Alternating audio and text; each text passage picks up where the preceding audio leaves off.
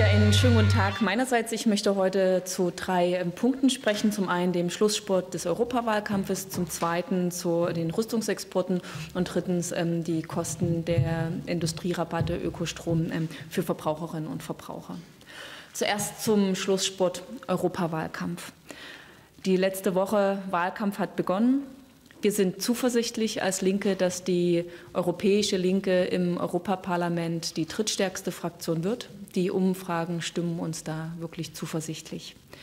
Wir haben im Wahlkampf uns klar als die Alternative zu Merkels Krisenkurs etabliert. Wir haben immer wieder klargemacht, dass der Kurs des Kürzungsdiktates, auf den Merkel fährt, ähm, zu sozialen Verwerfungen führt innerhalb von Europa, aber auch volkswirtschaftlich kontraproduktiv ist.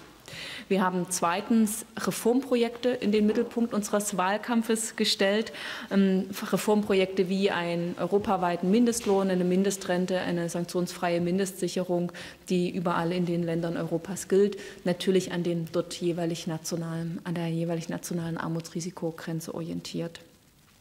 Wir wollen und haben all jene angesprochen, die unzufrieden sind damit, wie bisher die Europapolitik äh, von der Regierung dieses Landes geführt wird. Wir werden nun in den letzten Tagen ganz klar den Schwerpunkt auf den Straßenwahlkampf setzen. Das ist auch eine Stärke von uns. Einige werden vielleicht schon von Ihnen, die mit der S-Bahn zur Arbeit gefahren sind, ähm, die Plakate, die großen Transparente der Linken gesehen haben. Der 48-Stunden-Wahlkampf, der ja immer der Höhepunkt äh, des Wahlkampfes ist, wird ähm, bei uns eröffnet mit einer Abschlusskundgebung auf dem Alexanderplatz, auf der unsere Spitzenkandidatin Gabi Zimmer, Gregor Gysi, Bernd Rixinger sprechen werden. Wir werden Türanhänger verteilen. Meckern ist gut. Wählen ist besser, um nochmal an den Europawahltermin 25. Mai zu erinnern. Ich bin mir sicher, dass von der Wahl am 25. Mai, Kommunalwahl wie Europawahl, wieder ein klares Signal ausgeht. Wer links denkt und fühlt, ist bei der Linken gut aufgehoben. Mit uns muss man rechnen. Zum Thema Rüstungsexporte. Das Wochenende war geprägt von Nachrichten darüber, dass allein in diesem Jahr unter dem Wirtschaftsminister Sigmar Gabriel Rüstungsexporte in Höhe von 1,2 Milliarden Euro genehmigt worden sind. Viele davon auch in Krisenregionen. Das ist ein eklatanter Widerspruch zu den Ankündigungen von Sigmar Gabriel. Die SPD hatte im Wahlkampf klar gesagt, sie will Rüstungsexporte eindämmen, ja in Krisenregionen komplett unterbinden. Nun erleben wir ganz das Gegenteil. Ich finde, wir sehen, was die SPD versprochen hat, sind nichts als Ankündigung.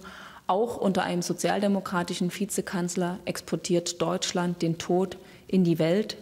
Wir meinen, Sigmar Gabriel ist ein Heuchler. Wir als Linke wollen für Waffenexporte die Nulllösung, das heißt, sie sollen komplett verboten werden.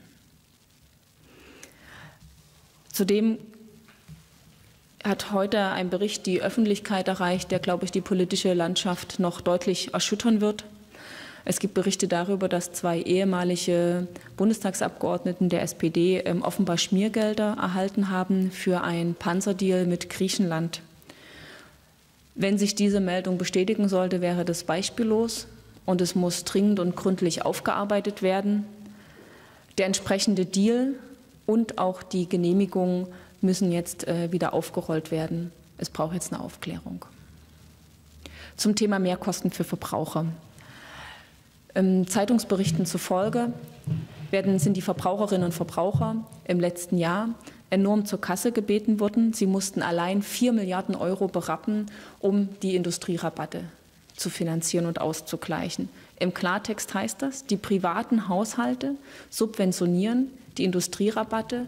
Mit jeder Kilowattstunde Strom, die ein Privathaushalt verbraucht, subventioniert er die Industrierabatte mit einem Cent.